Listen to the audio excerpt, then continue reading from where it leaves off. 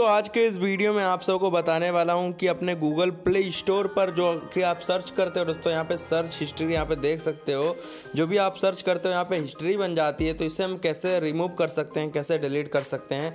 तो चलिए time no waste करते हुए बताते हैं, लेकिन आप सबसे पहले मैं चाहता हूँ इस वीडियो को लाइक करो एंड चैनल को सब्सक्राइब करके बेलाइकन दबाओ। यार, मेरे मेहनत का फल देते जाओ, यार, मुझे भी अच्छा लगता है यार, जब आप सब्सक्राइब करके बेलाइकन दबा लेते हो।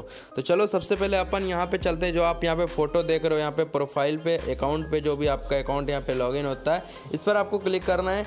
उसके बाद दोस्तों यहाँ पे आपको एक ऑप्शन मिलेगा दोस्तों, यहाँ पे सेटिंग का, सेटिंग पर आपको क्लिक करना है। उसके बाद दोस्तों यहाँ पर आपको एक ऑप्शन मिले जनरल करके, जनरल वाले ऑप्शन पर आपको क्लिक करना है। उसके बाद दोस्तों यहाँ पे एक ऑप्शन मिलेगा आपको account and device. Performance preference यहाँ पे इस पर आपको क्लिक करना है। उसके बाद दोस्तों थोड़ा सा आपको यहाँ पे ओपन करना है, यहाँ पे नीचे आ जाना है। नीचे आने के बाद यहाँ पे देखिए एक ऑप्शन मिलेगा क्लियर डिवाइस सर्च हिस्ट्री इस पर आपको क्लिक करना है।